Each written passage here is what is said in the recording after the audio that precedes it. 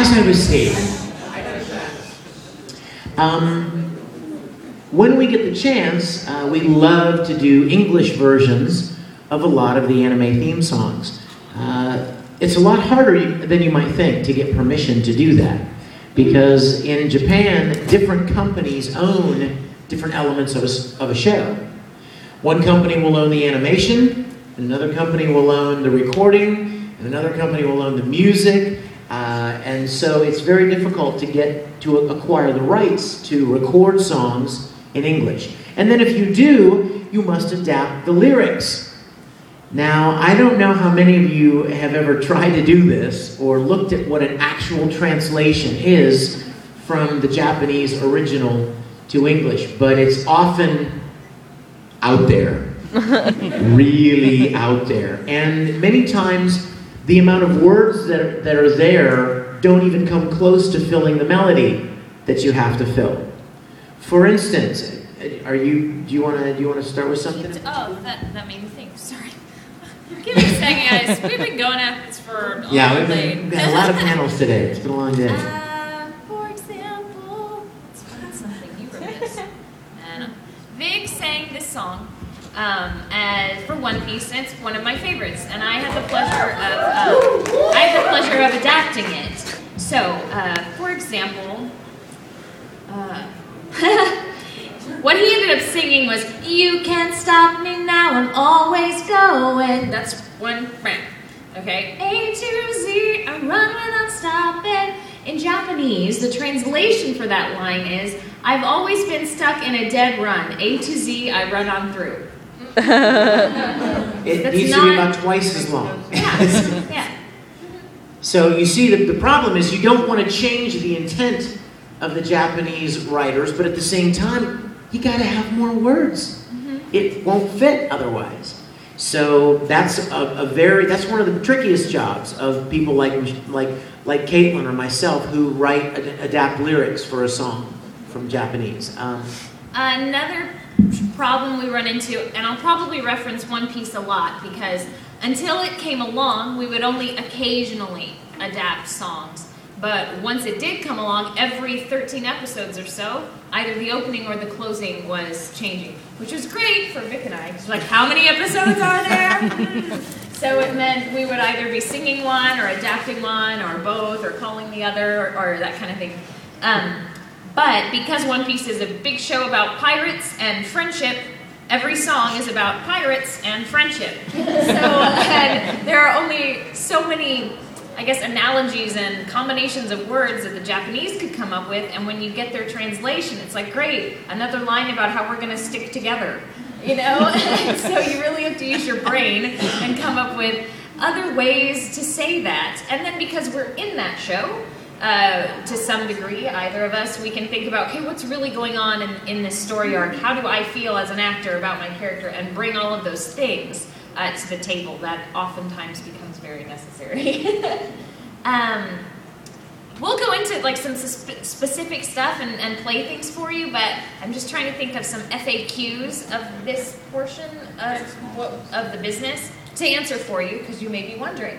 Like, um, why are some songs dubbed and others not? Vic said a little bit it has to do uh, with the rights, and then once we are able to do something, um, what's the process and that kind of thing. So sometimes we can't do a song for legal reasons; we just can't get the rights. Other times we don't do a song because the producer feels it's not necessary. Uh, and then after that, it's up to usually the discretion of a line producer uh, or a director. And they say, I would like to do this song. So then we go ask if we can. Sometimes we still can't because of money. Plain and simple. like, oh, we don't have the money to pay the musical director, Mike, and to pay the adapter, me or Vic or Brina or Leah, and then to pay the singer, and then to pay the engineer. So, those are the reasons uh, that we don't do it. What, what are the reasons we do do it? Because we want to, and it's fun. Yay!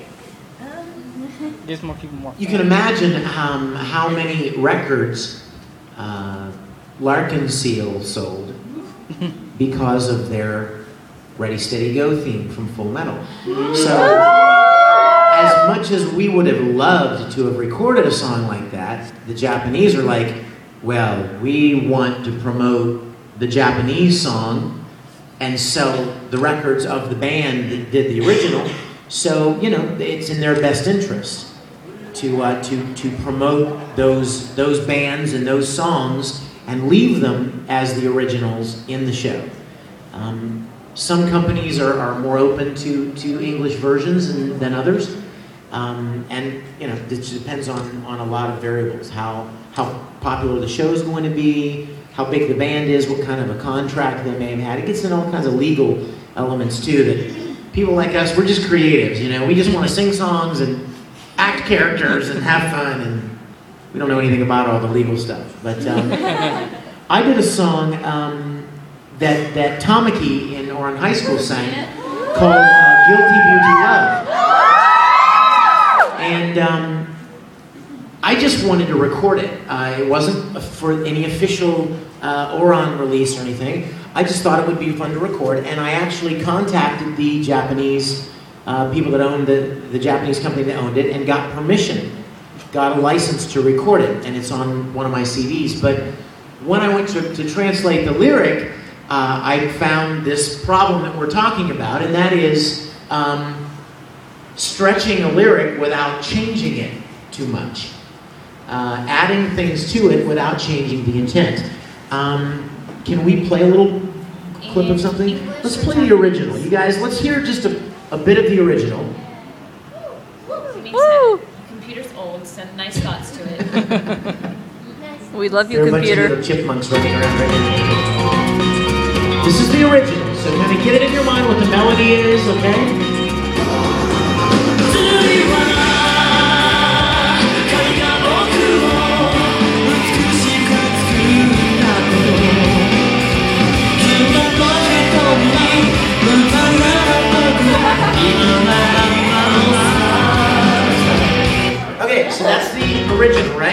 Now here's the English. Mix, is that? Yes. Yeah.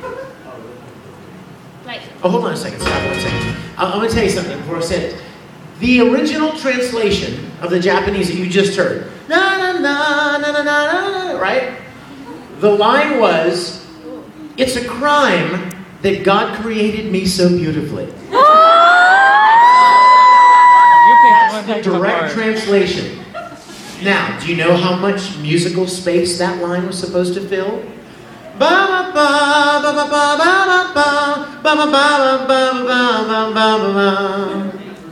Ah, you can't sing, you know, it's a cry that God created me so beautifully. It doesn't fit, right? So, what I wrote was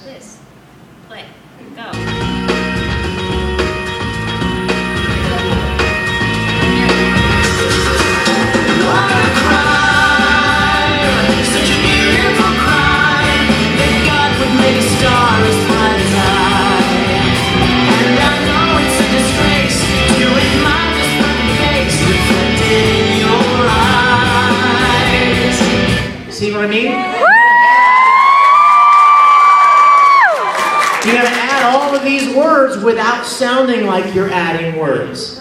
You can't be like, just all the time, always, almost. I mean, all these extra, you know. You, you can't add a bunch of superflu- superfluous words. You need to add something that actually sounds like you meant to write it that way. Um, and, and there are also, this is interesting too, there are also a lot of times when the Japanese lyric will throw in an English word. This song, for instance, at the end, he's like, na na na na na na na na, guilty beauty love.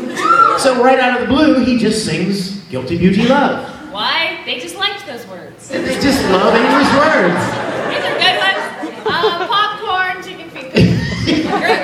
Like in the middle of the first verse, he's like singing along in Japanese, and then all of a sudden he goes, uh, "Cutie lady." and one thing that we try to do as best we can is whenever they use the English words, we want to hold on to those. We want to keep them right where they are. So, can we pick up the Japanese where we left off? It's about 25 seconds. Let's Let's finish out the, the chorus for those of you that don't know it, and you'll hear what I'm talking about.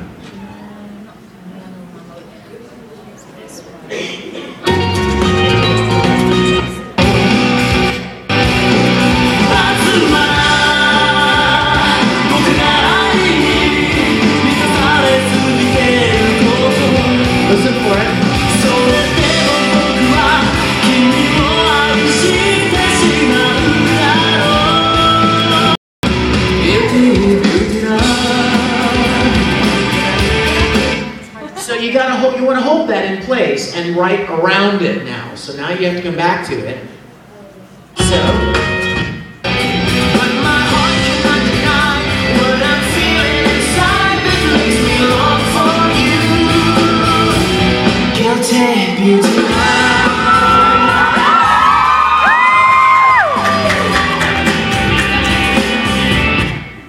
I wish, you know, I actually, I wish I had them. Um, I, I brought the lyrics on a USB drive, but they're. My computer's old. Yeah, does anybody have a, a Mac with them by any chance? Oh, I have an iPhone too, baby. My iPhone says Star Trek on it. Yeah. um, Star Trek anyway, jar. I had the original lyrics typed out, so I could read them to you, and you could see how they were adapted. But I know that you got that too, right? Yeah, for You want to go other through one of those? Yeah, let's Sure. go through one of those. Um, hopefully, I'm guys. I'm sorry.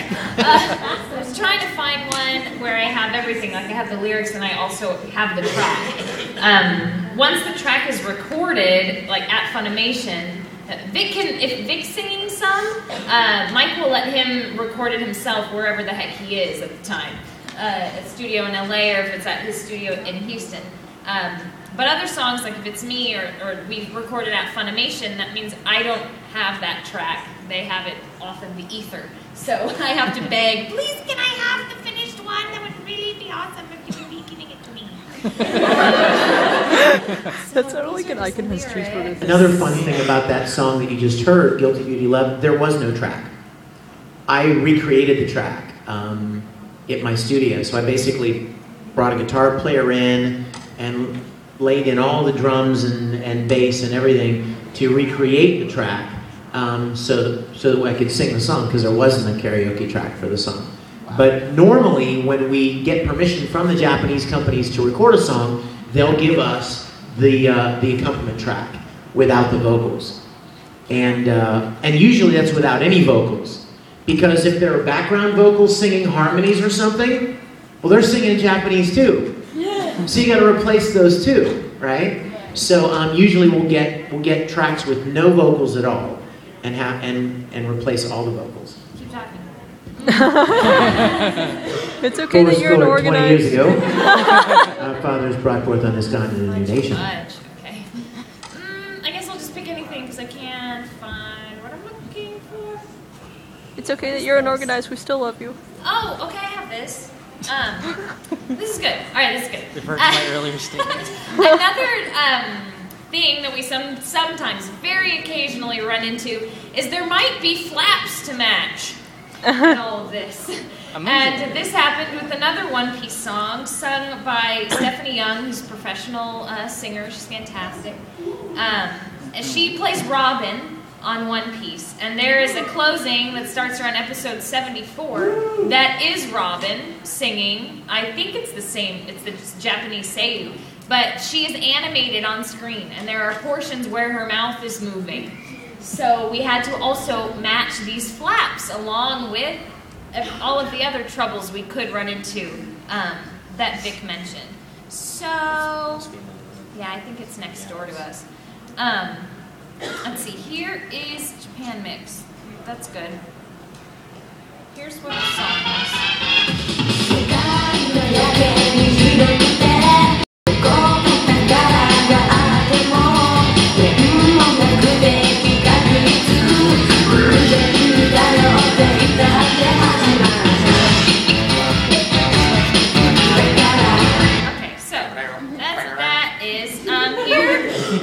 Kind of going along with the way things um, Vic was doing stuff. I have the translation.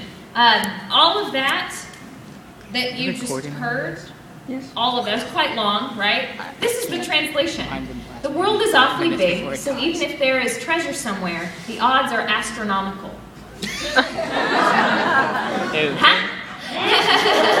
and yeah, okay, so I'm like, holy moly, what